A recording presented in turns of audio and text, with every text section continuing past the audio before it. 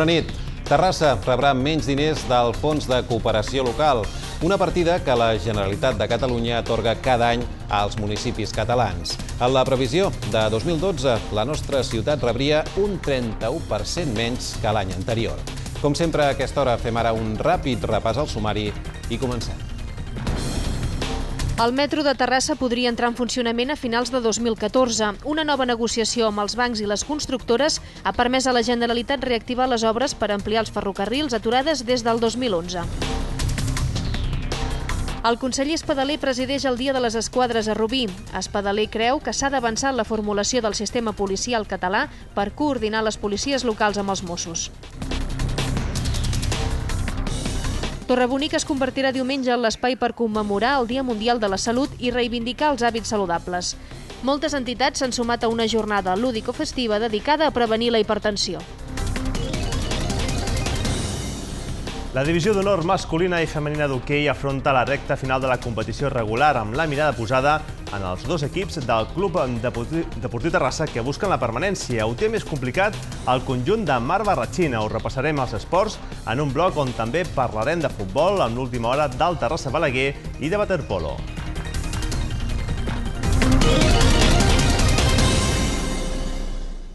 L'alcalde de Terrassa rebutja la distribució del Fons Local de Cooperació pel 2012, uns diners que el govern català destina cada any als diferents ajuntaments. Jordi Ballart ha demanat que hi hagi un repartiment més just d'aquestes partides. L'alcalde de Terrassa rebutja la distribució dels fons de cooperació locals per al 2012 i demana que revisi per assegurar un repartiment amb criteris clars i justos per a tots els municipis. Jordi Ballar ha fet arribar la seva disconformitat al govern català pels creus prejudicis que suposa per l'Ajuntament de la ciutat. Un estudi municipal constata que el procediment i els criteris seguits vulneren drets bàsics dels ens locals. Segons el consistori, s'infringeixen els principis de l'ordenament jurídic i es lesiona el dret de suficiència financera de l'Ajuntament per garantir la prestació d'uns serveis bàsics que venen determinats per llei. Ballar ja va comunicar el seu desacord al president de la Generalitat, Artur Mas, en la reunió que van mantenir al març. A més, ha adreçat una carta a la consellera de Governació i Relacions Institucionals, Joana Ortega. L'alcalde denuncia que s'ha vulnerat el dret del conjunt dels ens locals de Catalunya a ser escoltats en les decisions que adopta la Generalitat. A més, des de Terrassa critiquen que la Generalitat no ha liquidat ni fet efectiu encara aquest fons i que, per tant, mantenen la incertesa respecte a les quantitats ajornades per al 2013. Expliquen que es tracta d'uns diners que han de servir per finançar serveis bàsics municipals i que són despeses que l'Ajuntament ha hagut d'avançar. D'altra banda, l'alcalde lamenta que l'assignació a Terrassa s'hagi reduït d'un 31,20%, superior respecte d'altres municipis i també respecte a la baixada de la dotació global del propi fons. Finalment, Ballart alerta que s'ignora de forma flagrant el principi principi de suficiència financera dels ens locals, garantit tant a la Constitució com a l'Estatut, a més de vulnerar el principi d'anualitat pressupostària. Canviem ara de tema. El metro de Terrassa estaria en funcionament a finals de 2014. Almenys així ho han assegurat els responsables del govern català. I és que, segons han explicat, la previsió és que les obres s'acabin l'estiu de l'any vinent. El metro de Terrassa podrà entrar en servei a finals del 2014, un cop s'espera que les obres de perllongament dels ferrocarrils de la Generalitat estiguin acabades poc abans de l'estiu de l'any vinent. Així ho ha comunicat la Generalitat en la reunió de la Comissió de Seguiment del projecte. La Conselleria de Territori i Sostenibilitat ha confirmat que aquest mateix mes d'abril es reactivaran les obres d'arquitectura de les estacions, les quals permetran donar una empenta al projecte. Els treballs de les estacions Vallparadís, Intercanviador amb Renfe i Can Roca es tornaran a reprendre després d'estar aturats des de l'any 2011, tot i que es van tornar a engegar ara fa cinc mesos. Una nova negociació amb els bancs i les constructores ha permès a la Generalitat reactivar l'obra civil de l'ampliació dels ferrocarrils. Una vegada aquestes obres hagin acabat, es procedirà a fer les pertinents proves prèvies de funcionament de l'ampliació de la línia de tren fins a Can Roca. Si aquestes proves són satisfactòries, el nou metro de Terrassa serà una realitat abans d'acabar el 2014. El projecte inicial de perllongament dels ferrocarrils de la Generalitat a Terrassa marcava el 2010 com l'any d'entrada del servei, termini que s'ha superat amb escreix pels diversos retards que ha patit. Més coses. Rubí ha acollit avui el Dia de les Esquadres. La ciutat ballassana ha celebrat la trobada dels Mossos d'Esquadra de la regió metropolitana nord. Una celebració que ha coincidit amb els 10 anys de l'arribada d'aquest cos policial a la zona avançant la formulació del sistema policial català que ha de coordinar l'actuació de les 213 policies locals amb els Mossos d'Esquadra. És la voluntat del conseller d'Interior, Ramon Espadaler, que ha presidit la celebració del Dia de les Esquadres a la regió policial metropolitana nord, que s'ha fet a Rubí. Espadaler ha dit també que la llei de policies catalana només servirà si aconsegueix un consens molt ampli entre les forces parlamentàries. Aquest any la festa coincideix amb el 30 aniversari de la creació creació d'aquest cos autonòmic i els 10 anys de l'arribada dels Mossos a aquesta regió. Per a Joan Figuera, cap de la regió policial metropolitana nord, l'arrelament i la proximitat són els dos punts forts dels Mossos. Assegura també que en èpoques de crisi les tensions socials es disparen i la policia ha d'intervenir. Estem en, un, en una situació de crisi econòmica i financera, hi ha més tensionament social. Aquest tensionament social provoca que els sectors més desfavorits d'alguna manera eh, estiguin més en alerta, surtin més a reivindicar les seves necessitats eh, al carrer i això provoca que la policia, protegint totes aquestes manifestacions, totes aquestes concentracions, d'acord amb el dret de reunió, doncs d'alguna manera es faci més palès que en algun, eh, la policia gestiona aquests nivells de conflicte. L'acte ha servit també per repartir reconeixements a la tasca feta per agents d'altres policies, Mossos d'Esquadra i ciutadans. Per exemple, la denúncia d'Emília Massigas va servir per detenir dos falsos inspectors del gas que robaven a les cases i la mediació de la presidenta de l'Associació de Veïns del Pinar, Maria José Monuera, va ajudar a resoldre un problema de xenofòbia entre els veïns. La celebració ha acabat amb la interpretació dels segadors per part del mosso i pianista terrassenc Robert Tebar. I marxem ara fins a Sabadell. I és que avui s'ha lliurat les claus dels nous habitatges de lloguer ubicats al Parc Central. Es tracta d'un complex de 114 pisos adaptats i destinats principalment al col·lectiu de la gent gran. El complex Parc Central de Sabadell entre els carrers Leonardo da Vinci i Diego del Magro ja s'ha posat en marxa. Es tracta d'una promoció de 114 habitatges adaptats i de lloguer que seran ocupats bàsicament per gent gran i que aquest divendres ja ha repartit les primeres claus. Un 10% d'aquests habitatges, a més, es reserven per a col·lectius amb especials dificultats. De moment, aquest divendres l'Ajuntament ja ha signat un conveni amb una d'aquestes entitats, Salut Mental Sabadell, a qui destina 5 pisos. El complex Sabadell Central inclou un ampli espai relacional per a celebrar-hi activitats destinades al col·lectiu de gent gran, també un local que cedirà a l'entitat Salut Mental Sabadell perquè hi traslladi la seu. En un futur es podria construir també una llar residència per a persones amb dificultats intel·lectuals. I garantir la viabilitat i el recolzament a les entitats que acaben vertebrant i donant respostes a les necessitats dels ciutadans. I en això, com a administració municipal, tot i els problemes econòmics, tot i les dificultats pressupostàries, hem de prioritzar i hem de garantir que entitats com Salut Mental de Sabadell doncs, puguin fer la seva tasca perquè arriben on no arribem des de l'Ajuntament ni arriba l'administració. S'han lliurat les claus dels primers 71 habitatges. La gran majoria tenen un dormitori, però alguns dos. Estan equipats amb un safreig, lavabo adaptat i un interfon que els connecta directament amb la recepció de l'edifici. Per facilitar que els usuaris s'ubiquin, cada planta està destacada amb un color. Les claus de la resta d'habitatges es lliuraran en properes setmanes. I a Terrassa, Convergència i Unió vol donar un nou impuls al Parc Audiovisual de Catalunya. Asseguren que el recinte no genera prou activitat com per ser viable i per aquest motiu demanen crear un grup de treball per reactivar i per reorientar aquest projecte.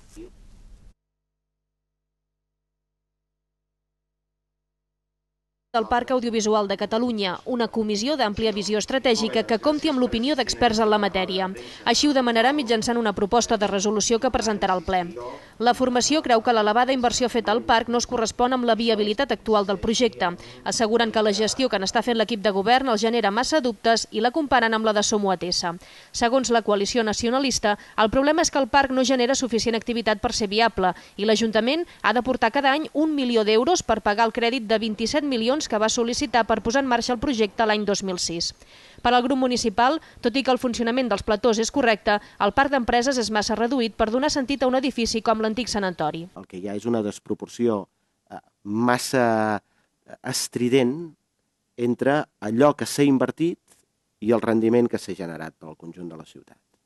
És a dir, eh, inversió molt considerable, mm, en aquests moments ja estem parlant de, de més de, de 30 milions d'euros llargs, però en canvi 16 empreses. Aquesta situació d'actual crisi econòmica i financera generalitzada que vivim i de canvis legislatius importants obliga als ajuntaments a prioritzar els mitjans que disposen i evitar qualsevol inversió doncs, que no resulti absolutament imprescindible. Convergència i Unió apunta que el projecte del parc audiovisual ha quedat encallat en un concepte que no funciona i que cal donar-li noves sortides, com per exemple l'àmbit universitari. I nova acció de la plataforma d'afectats per la hipoteca. Aquest dijous s'han ocupat durant unes hores dues entitats bancàries a Terrassa i com a resultat la plataforma ha aconseguit pactar quatre dacions en pagament i dos lloguers socials. Quatre compromisos per aconseguir l'adhesió en pagament i tres lloguers socials són els resultats de les accions de protesta realitzades per la plataforma d'afectats per la hipoteca aquest dijous a la tarda a dues oficines bancàries de la ciutat. Una quarantena de persones van ocupar des d'un quart de sis de la tarda i fins a dos quarts de dotze de la nit l'oficina de la Caixa del Raval. Un grup d'una trentena de persones més feien de suport des de l'exterior fent-los arribar aigua i entrepans. Agents dels els Mossos d'Esquadra van controlar la situació. Fins a l'oficina es van desplaçar responsables i un delegat territorial. Al final, la negociació va acabar amb la signatura d'un document. L'entitat bancària es va comprometre a atorgar en 15 dies quatre dacions en pagament i dos lloguers socials. Per la seva part, la plataforma va ocupar també l'oficina de Bànquia del portal de Sant Roc, des de les 5 a 3 quarts de 6 de la tarda. Els directius es van comprometre a aturar un desnonament previst per dilluns dilluns i a estudiar la condonació del deute i el lloguer social. I els expliquem ara que aquest diumenge es commemora el Dia Mundial de la Salut, una jornada que vol conscienciar de la importància de portar una vida saludable. A Terrassa es faran diferents activitats a l'àrea de Torre Bonica. Torrebúnic es convertirà diumenge en un espai per reivindicar els hàbits de vida saludables. Serà la primera vegada que a Terrassa s'organitzen actes en commemoració del Dia Mundial de la Salut que aquest any alerta dels perills de la hipertensió. Les malalties cardiovasculars són la primera causa de mortalitat en els homes, la segona en les dones animar els ciutadans i eh, adults, sobretot, que es controlin l'atenció eh, de manera preventiva, si no són hipertens, animar els ciutadans a modificar els, els comportaments que poden provocar hipertensió i sobretot alentar a les diferents administracions que treballem per crear un entorn que afavoreixin el que serien tots els hàbits de vida saludables. Un bon grapat d'entitats s'han sumat en aquesta jornada lúdico-festiva que començarà de bon matí. A les 10 s'iniciaran tres activitats esportives, una caminada, una bicicletada i una marxa nòrdica. A la cava hi haurà la recompensa d'una xocolatada. Fins les dues de la tarda succeiran diverses activitats. Es farà una prova pilot del City Walking, una aplicació per a mòbil guanyadora d'un premi Living Lab. Es prepararan tallers per tota la família, les entitats exposaran les seves parades i també hi haurà un laboratori d'idees ciutadanes perquè cadascú proposi millores per fer una ciutat més saludable. La salut tant la salut individual de cadascú de nosaltres com la salut eh, col·lectiva, la salut comunitària, és un fet que es construeix. Eh, la salut es construeix i, per tant, tots i cadascú de nosaltres podem fer coses per millorar no només la nostra salut, sinó també la, la, la col·lectiva, la, comuna, la comunitària. També hi haurà espai per la solidaritat amb la recollida del Banc d'Aliments i el Banc Farmacèutic. Per dinar es farà una botifarrada. El preu és de 3 euros i mig. 50 d'aquests cèntims aniran al rebost convidant a que les persones vagin... Doncs ara, i com cada divendres, encetem el temps dels esports i farem un repàs a l'agenda esportiva d'aquest cap de setmana. Com sempre, ho fem de la mà del nostre company, del Joan Gutiérrez. Joan, molt bona nit i benvingut. Hola, Òscar. I avui em sembla que en futbol, amb un interessant Terrassa Balaguer, sí. un Terrassa que està lluitant per aconseguir aquesta quarta plaça que, que pugui permetre jugar al play-off sí. d'ascens, sí. waterpolo també, sí. però sobretot hoquei, okay, perquè ja s'acaba la lliga regular sí. i hi ha un equip de la nostra ciutat que, que s'ho juga tot. Sí, es pot dir que Atlètic i Egara ho tenen, tenen els dos fets, estem parlant de divisió d'honor masculina, es juguen la plaça de playoff, però qui realment s'estan jugant les garrofes és el Club Deportiu Terrassa. I és que la veritat és que es tracta d'una jornada doble de caixa o faixa pel Club Deportiu Terrassa. El conjunt de les Pedritxes ha de guanyar els tres partits que queden de Lliga i esperar que els seus rivals tinguin alguna ensopegada. Aquest cap de setmana els de Barratxina reben el Complutense i el Barroques amb l'obligació de sumar dues victòries per arribar amb opcions de salvació en l'última jornada. La doble jornada d'aquest cap de setmana a la divisió d'honor masculina d'hoquei determinarà el futur del Club Deportiu Terrassa. El conjunt de Marc Barratxina, últim a 6 punts de la salvació, ha de guanyar els dos partits que té a casa i esperar que els seus rivals punxin, si vol arribar la setmana vinent amb opcions al camp de la Gara a la darrera jornada de la fase regular. Sens dubte, el compromís més complicat per l'equip de les Pedritxes serà aquest dissabte, a partir de la una de la tarda. Els terrassencs reben el cinquè classificat, el Complutense. Els madrilenys, però, ja no s'hi juguen res, perquè no tenen opcions de classificar-se per al play-off. Tot i que la permanència està pràcticament impossible, aquest hauria de ser un primer estímul per als de Barratxina, sempre i quan sàpiguen suportar bé la pressió. La victòria del Club Deportiu Terrassa, però, no serviria de res si el Barroques puntua demà Can Sales. A priori, l'Atlètic és superior i hauria de donar un cop de mà al seu veí. A més, els homes de Roger Pallarols, quarts, necessiten guanyar si volen aspirar al tercer lloc que ocupa ara mateix la Gara. Els ratllats visiten el júnior. A la jornada de diumenge, el Club Deportiu Terrassa rebrà el conjunt gallec en un partit que pot ser dramàtic en funció del que passi el dia abans. L'Atlètic tornarà a jugar a casa, aquest cop contra el Complutense, mentre que la Gara s'examinarà al camp del líder, el Polo. I a la divisió d'honor femenina queda una jornada menys, dues per acabar. I el Club Deportiu de Rassa és ara per ara l'únic equip agarenc que s'hi juga alguna cosa a la permanència. El conjunt que dirigeix Alejandro Allabarrena, però, ho té més fàcil per salvar-se, ja que depèn de si mateix. Les agarenques són novenes, dos punts per sobre dels jocs de descens. Una victòria aquest diumenge contra el COE, la Universitat de Sevilla, que ja fa setmanes que ha baixat de categoria, seria suficient per mantenir-se en l'elit. Fins i tot, un empat o una derrota també els valdrien en funció del que faci el Sardinero que rep a casa el júnior de Sant Cugat. Els altres dos equips locals Agara i Atlètic no s'hi juguen res, però voldran guanyar en l'últim partit davant de la seva afició i ho faran davant de dos candidats al títol. Les de Cansales reben al Club de Campo, mentre que les del Pla del Bonaire ho faran contra el San Pablo Valdeluz. I en futbol, el Terrassa té una nova oportunitat d'apropar-se als jocs de play-off. Diumenge, els agarencs reben el Balaguer en l'obligació de trencar la dinàmica d'empats de les dues últimes jornades. Els de Carrillo també estaran molt pendents del que facin els seus rivals més directes, amb especial atenció al partit entre el Manlleu i la Pobla de Mafumet no es poden cometre més errors. Els empats davant Palamós i Gramenet, sobretot aquest últim, han de ser un toc d'atenció per al Terrassa si encara vol aspirar a la quarta posició, l'última que dona opcions a disputar el play-off d'ascens. Les diferències amb el Manlleu s'han reduït en un punt i aquest diumenge els homes de Miqui Carrillo podrien apropar-se encara més en una jornada que sembla propícia per als interessos agarencs. A les 5 de la tarda el Terrassa rep el penúltim, un Balaguer que ara per ara està a 5 punts de la salvació. Els lleidatans, que venen de perdre contra el Palamós en l'última jornada, semblen el millor rival perquè els agarencs es retrobin amb la victòria. A la mateixa hora el Manlleu rebrà el cinquè, la Pobla de Mafumet, un duel directe entre dos equips separats per només dos punts. L'altre equip implicat en el play-off, el Figueres, surt com a favorit en el seu compromís davant del Vilassar de Mar, tot i que els empordanesos fa tres setmanes que no guanyen. Contra el Balaguer, Carrillo no podrà comptar amb els lesionats Vinuesa i Javi González, en les files lleidatanes és baixa per sanció l'exterracista Roger Giribet. El Terrassa ha decretat el partit com a jornada econòmica, així que els socis hauran de passar per taquilla. El partit serà dirigit per Daniel Navarro Jiménez i es podrà seguir pel 95.2 Ràdio. Abans d'afrontar aquest partit, quatre jugadors del Terrassa van participar ahir a la nit amb la selecció catalana UEFA en un partit amistós disputat al municipal de Viladecans. Concretament van ser Mario Vittorio, Joan Roig, Carlos Montoro i Frank Grima, aquests dos últims en l'11 titular. El Viladecans, que milita al grup segon de la primera catalana, va estar més encertat de cara a porteria i es va imposar per dos gols a zero. Carlos va inaugurar el marcador en el minut 19 de la primera part i Eduardo ja en el segon temps va fer el segon pels del Baix Llobregat.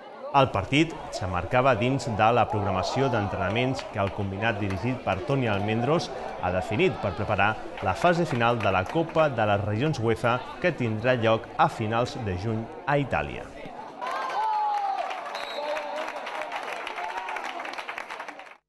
Més coses. Ahir va ser una jornada històrica pel waterpolo català femení. Va significar el debut de la selecció catalana absoluta. Va ser en l'amistós disputat contra la Gran Bretanya, partit que s'emmarcava dins dels actes commemoratius del centenari de l'Atlètic Barceloneta. El combinat que dirigeixen Quim Colet i el terrassenc Jordi Valls es va imposar per un contundent 16 a 10. Un parcial de 4 a 1 en el primer període va permetre encarrilar la victòria. L'equip català L'integraven vuit jugadores que van ser subcampiones olímpiques a Londres, acompanyades de joves promeses com la boia del Natació Terrassa Raquel Roldán. Les jugadores del Sabadell, Jennifer Pareja i Maika Garcia, autores de 5 i 4 gols respectivament, van ser les màximes realitzadores d'aquest històric partit.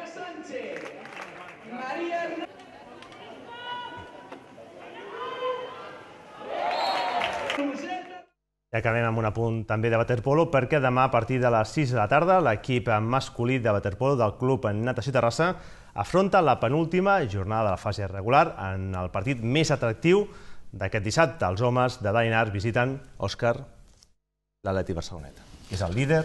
I un partit molt difícil. Que no ha perdut cap partit a la Lliga i és un partit difícil. molt difícil pels del Terrassa. Sí, sí. Molt bé, Joan, doncs moltíssimes gràcies. Intentarem dilluns parlar de bones notícies pel que fa al waterpolo, però també a l'hoquei sí, sí. i, i al futbol. A veure com va tot. Que vagi molt bé, Joan. Bon Vinga. cap de setmana. Igualment, adeu. Aquest dissabte el Teatre Alegria acollirà una veritable marató teatral. Es podrà veure una trilogia del dramaturg Esteve Soler, un conjunt de tres obres de caràcter antisistema, farcides d'humor negre. El Teatre Alegria presenta aquest dissabte en estrena absoluta a Espanya Contra l'amor, del dramaturg català Esteve Soler. La seva representació s'emmarca en una original i emocionant marató de teatre que programa en una mateixa vetllada les dues obres que completen la trilogia de l'autor escrita en nom de la indignació, contra el progrés i contra la democràcia. La idea és una mica sempre partir de la comèdia, perquè les tres obres busquen fer riure l'espectador, però llavors introduir-hi elements de terror, és a dir, glaçar una mica el riure. En moltes ocasions, quan la gent veu l'obra, es posa a riure, però de cop i volta mira el seu veí i veu que no està rient. I llavors el veí comença a riure en un altre moment i es pregunta per què ell està rient. La primera representació començarà a les 5 de la tarda, la segona a les 7 i la tercera a les 9 del vespre. Cadascuna d'elles tindrà una durada d'hora i quart i dues pauses entremig, que seran aprofitades per fer un avituallament. En aquest sentit, i tenim present que es tracta d'una marató de teatre, l'organització oferirà als assistents la possibilitat entre obra i obra de fer un pica-pica. Les tres peces del Manresà Esteve Soler han estat ja representades arreu d'Europa. El Teatre Alegria acollirà, per tant, una doble estrena, la representació de les tres obres, seguides en un mateix dia, i l'estrena a Espanya de Contra l'amor, segona obra de la trilogia, però la darrera en estrenar-se, i que coprodueix el Centre d'Arts Escèniques de Terrassa. I encara una altra proposta perquè el Centre Cultural ha inaugurat nova exposició. Aquests dies es podrà veure una mostra d'Albert Novellón, un conjunt de pintures i d'escultures que representen l'obra més recent creada per l'artista. El Centre Cultural acull l'obra més recent de l'artista polifacètic Albert Novellón en una exposició titulada Pintura i escultura en el sender de l'utopia. Es tracta d'un recull de 24 pintures, 17 de les quals noves i 19 escultures, totes fetes en aquest segle. Moltes d'aquestes peces s'exposen per primera vegada. L'exposició, que coincideix amb una altra mostra de Novellón a la sala Alquímia a partir d'aquest cap de setmana, combina la pintura i l'escultura en perfecta harmonia acompanyades de la poesia de Jordi Badiella que ha recitat en la inauguració. I incorporar-se al fluir incomprensible de l'univers però un llibre que cau de dalt d'un pont no és un objecte líric. Cal vigilar si hi ha vianants encara que sigui un dia de pluja A veure, no us penséssiu pas que un feia el, la pintura aquí i l'altre feia el poema aquí al costat. No, eh? Cadascú, cadascú dintre de la seva àrea ha treballat independentment i després tot això s'ha juntat amb un llibre, en què és el catàleg que hi ha a l'exposició. Hem pogut, crec jo, fer una cosa d'una certa dignitat. El regidor de Cultura, Amadeu Aguado, ha destacat l'oportunitat de veure a Terrassa bona part de l'obra actual del reconegut artista contemporani. I el dissabte també una altra sala acull una altra exposició seva. En aquest cas, eh, ens queda completar la, la per recomanar que fem la ruta Novellón aquests dies, no? I, i gaudim d'aquesta oportunitat de, de disfrutar de, d'aquest artista contemporani. A banda de la rigidesa geomètrica, Novellón amplia les seves escultures a tota una gamma de materials naturals com la fusta o el conglomerat. A les teles, l'artista terrassenc ret un homenatge al romanticisme amb uns cels i uns colors característics. I tot amb els poemes Dies grecs de Badiella en un intent de complementar totes les disciplines artístiques. Ara fa 15 anys, Albert Novellón ja va protagonitzar una retrospectiva al Centre Cultural amb obres del període entre el 1958 i el 1997. L'artista, que ha dedicat bona part del seu art a la docència, ha rebut diversos reconeixements i és considerat com un dels més influenciats pels corrents avantguardistes del segle XX. A Terrassa és autor de l'escultura de la plaça de l'11 de setembre. Doncs és tot. Nosaltres ho deixem aquí. Recordin, això sí, que la informació continua a internet, al terrassadigital.cat i a la ràdio municipal. També ens poden seguir a les xarxes socials Twitter i Facebook. Que passin una bona nit i un millor cap de setmana.